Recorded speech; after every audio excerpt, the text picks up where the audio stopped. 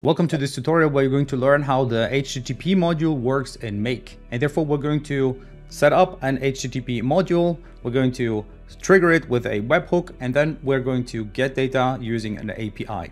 And we're also going to add parameters to that API request as well as parse the response. So we're going to bring it into a format so that we can work with it afterwards in a lot nicer way.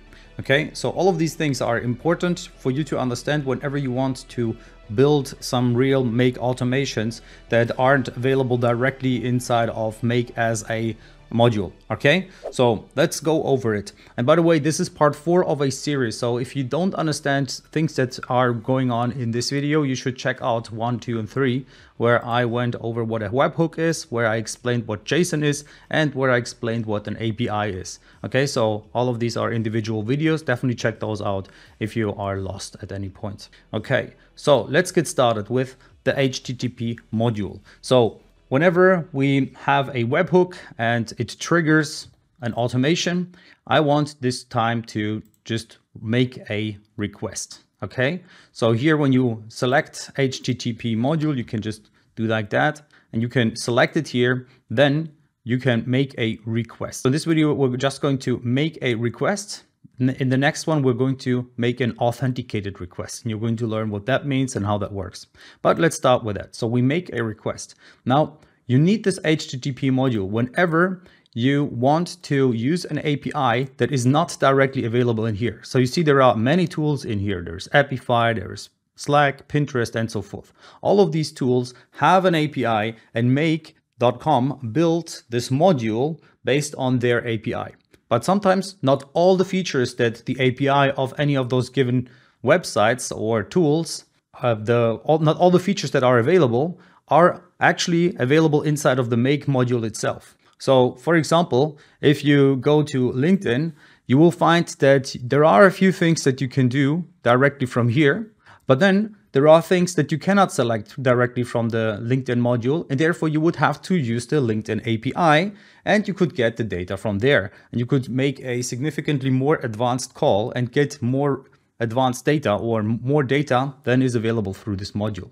So that's why this HTTP module is not only relevant for modules which aren't available inside of Make, but also for the ones that are available, but the API of those services or websites has more to offer that Make hasn't integrated because it is a lot of work to build all of these things out and they need developers to do all of that stuff. So in that case, they maybe just do the, let's say, 20% that are most used and all the other stuff that you can still do, that's something you would have to do yourself with such an HTTP request. Okay, but we're not going to do it with any of those complex APIs. We're just going to do it with this very simple one and spoonacular.com.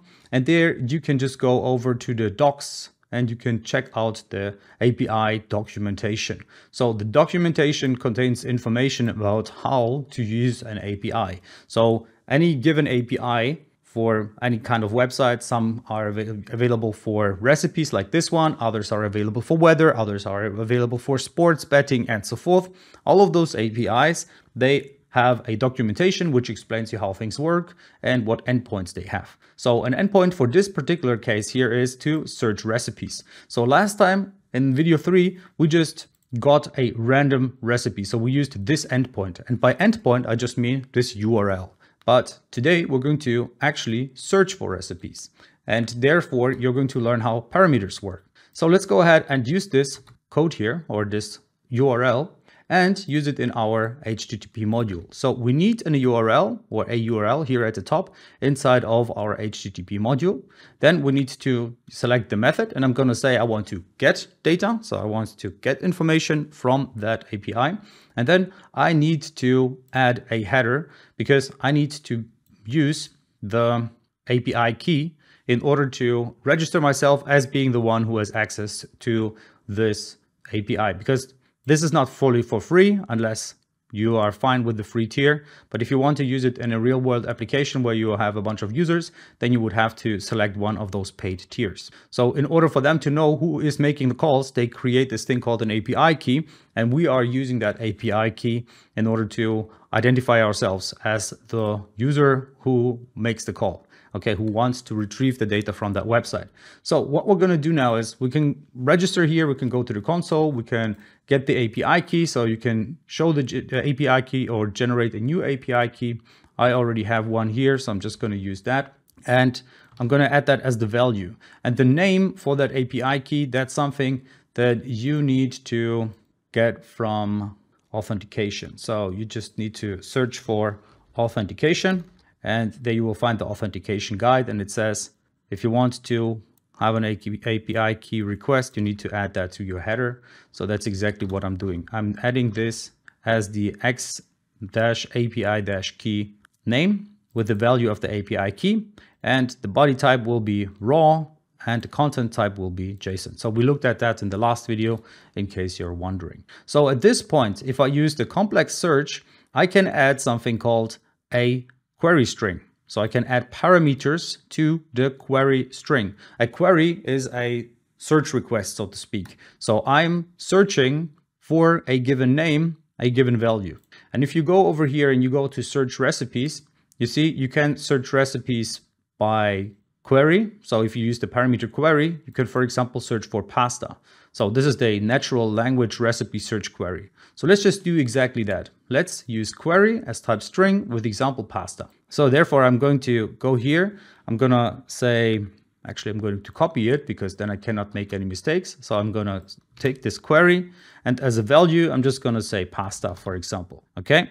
And now let's just go ahead and test this. So I'm going to take this webhook that I created. I'm going to copy this mail address, run the automation, wait for new data, go into new tab, enter the URL and press enter. I see that it says accepted. My automation ran through. I can see this one here.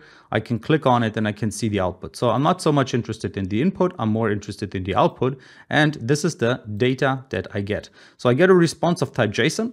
We looked into what JSON means and what it does. So if you want to make this more readable, you can go to any of your favorite JSON formatters, for example, jsonformatter.curiousconcepts.com. You can process it and then it will show you what the results are. So it gave me a bunch of recipes that have pasta in it. So this one, for example, here, you see farfalle with peas and ham and cream. Then we have, um, but to make tonight, bruschetta style pork and pasta, linguine e americana.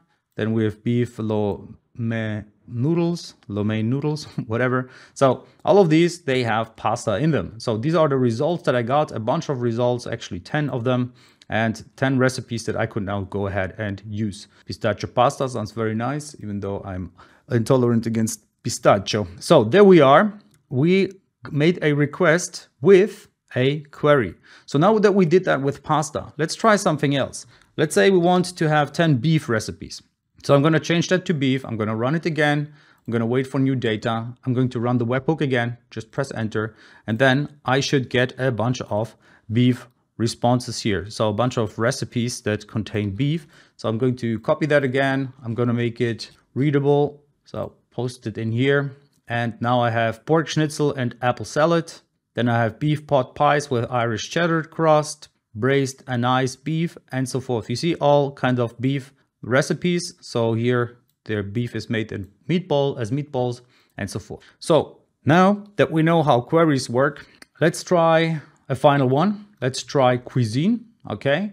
Or maybe even, well, if you want to have a certain diet. So let's say, let's, let's do diet, okay? Let's say we are a vegetarian, so we should not get any meat recipes. So let's modify our HTTP module where we say that the diet is going to be vegetarian. No, actually, I'm not going to write that out. I'm going to copy it from here.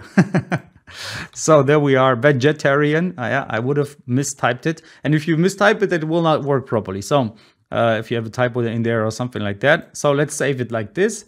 Let's run it once more. Let's wait for new data. Let's go ahead and run it. And we will see that the result that we get is going to be some vegetarian stuff. So none of the food that we're going to get or the recipes that we're going to get now should contain any meat. So asparagus and pea soup, that sounds pretty vegetarian. Garlic kale, uh, garlicky kale. Yeah, some of them are like are a little weird. Let's actually check out one of this these things here. Red kidney bean jambalaya. That sounds nice. Let's do that. There we are. So this is a vegetarian meal. You even get the image associated with it, cauliflower brown rice, vegetable fried rice. Well, some people will love that, others will not so much. So let's go over here. There we are. Okay, so these are just some example outputs that we get. Now let's look at one option that we have at the very bottom and what it does. And that's this parse response. So we can set that to true and then it will allow us to parse the response into usable objects. So there are two different ways how you can do that. Either you just directly use this thing called parse JSON. So this parse JSON, it will take the data output from my HTTP module now, and it will make readable data from it. Now we could create a data structure, but let's do it without, and let's just say the final is to set a variable because it just doesn't like it if, um, uh, yeah, if the parse JSON is the last item inside of your scenario. So let's run it once again, wait for new data. Let's run the webhook to trigger the automation. And we will see that now it took the, well, this very difficult to read JSON code or text, and it made usable objects out of it. So here it gave us the results as an array. So first is asparagus pea soup, then we have the garlicky kale. Then we have the red kidney bean jambalaya and so forth. Okay. So now what we could do is we could use any of those recipes and like store them in our database individually, for example. Okay. All right, and now because very often you have the situation where you actually want your JSON to be parsed, and this would be the default approach, well, they decided to put this option in here to parse the response. So I can just say yes here, and then I can get rid of this module and save myself the time of creating an extra module, which I have to manually set up. So you see before the output was like this, we got it as a pure JSON file or JSON text and unedited. And now let's run it again and we will see that this time we get the output in the same way that we got the output from our JSON parser, okay? So this little option that we had there in this HTTP module generated all of these outputs. And now you could go ahead and use these outputs in whatever fashion you want. You can aggregate them. You can run an automation that goes through all of them individually and stores them individually in a database or triggers some other automation in the backend. But yeah, that's pretty much it. That's what the HTTP module does. It's very powerful. And in the next video, we're going to look at how we can do the authentication, where we make sure that we get access to APIs where you cannot just use an API key, but you actually need to be authenticated in a more sophisticated way, so to speak.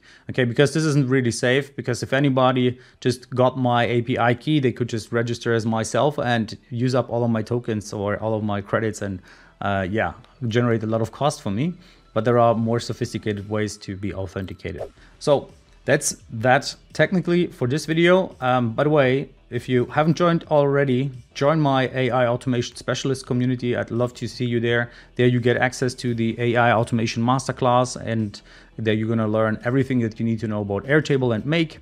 And then you're also getting access to a bunch of really amazing templates that will first of all teach you how to become an AI automator and an automation specialist.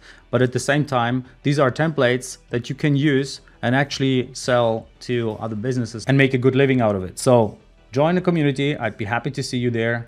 The link is in the description below and subscribe if you haven't subscribed already so you don't miss out the next video that is about how to authenticate with OAuth 2.0. So see you in the next video.